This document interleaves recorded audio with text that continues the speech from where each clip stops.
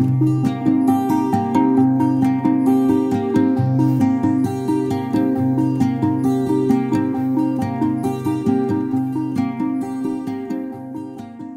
very inspirational to other students and also teachers. I appreciate teachers like that. Science is in everything. You know, I look at everything as science.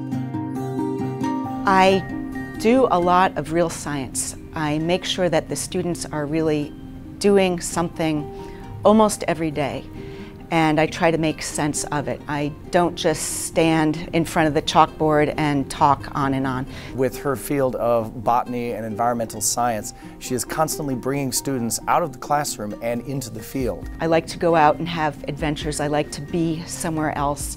And I think that students gain so much. It's so good for them. They remember that and they may remember what they learned in the field trip much more than in the classroom.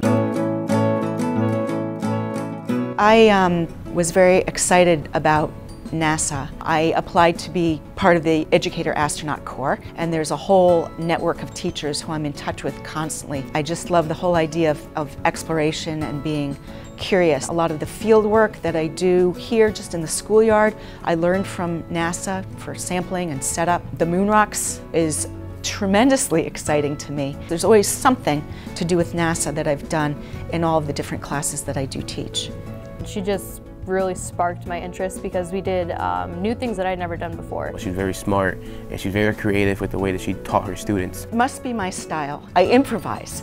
I feel like I'm being very creative in the classroom. And whatever is in front of me, I always have to change, materials change, students change. I have a style of adapting to what's around and also to key into what students are thinking and feeling. I give them questions, they have to figure it out, and I think in that way I'm different and effective teaching science. She always finds ways to keep it fresh, keep doing things year after year that are interesting. Uh, she professionally keeps herself engaged and interested. I love to share what I have with other colleagues. I like to learn from them. I've done a number of um, presentations and uh, I hope that they learn from me. When I think of Naomi, I think of uh, willing to reach out and pretty much do anything it takes and, and reaching out to the community, a community builder. She's just a great model for the students of showing what, you know, what science can do to help the community and how we can reach out and kind of get out of the classroom and become engaged. I do think it's important that students become global citizens because anything that they do really starts here right on Earth. The environmental science teaching that I do, I think grounds them when they come to appreciate the earth and realize really what we have is finite and really we have a lot of problems.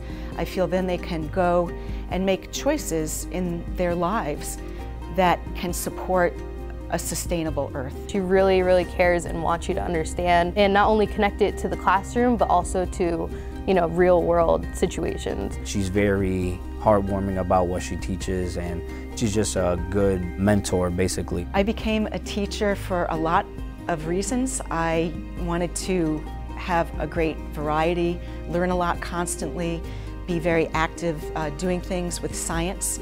I wanted to work with teenagers. Every day there's um, a new challenge or a new question and I really enjoy being that engaged and um, it's exciting. It's a very exciting place to be to teach high school students.